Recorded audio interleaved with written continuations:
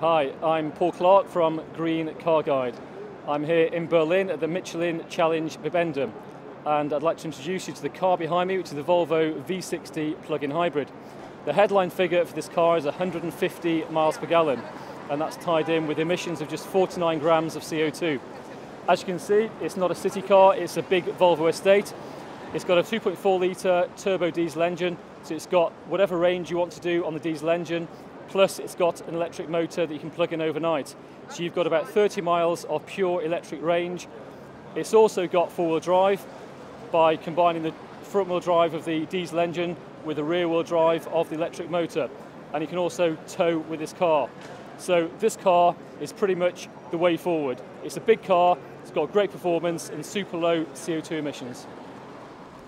So this is one of the first ever drives in the Volvo V60 plug-in hybrid.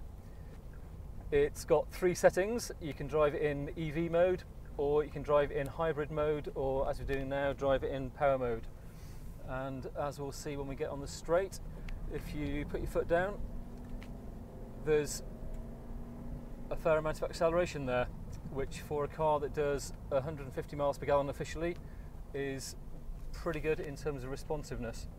It's front wheel drive most of the time, but you also do get the ability to have four wheel drive with the rear electric motors. So this is the way forward. So far we've had uh, petrol cars and then diesel cars, which are more efficient for long journeys. We've got EVs and we've got hybrids. Uh, this is one going to be one of the first diesel hybrid plug-ins and obviously it's in a Volvo estate format. So this is really the future. The one thing we don't know yet is the price of this car in the UK. It's not going to be cheap, but obviously what you do get is a very capable car that can fit the family in and has got the potential of being extremely economical. So we look forward to it coming to the UK shores and we look forward to seeing what price it is.